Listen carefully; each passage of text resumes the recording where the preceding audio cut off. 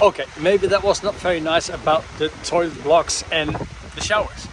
Because now there's an absolute downpour going on and I am pretty happy to have shelter for especially my camera bag in one of those nice tents because actually it is quite sheltered.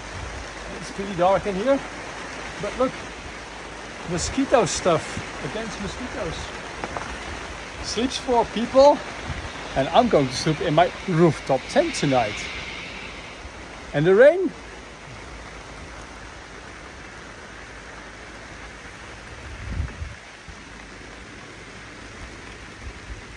Ah, I might start to get the concept of glamping.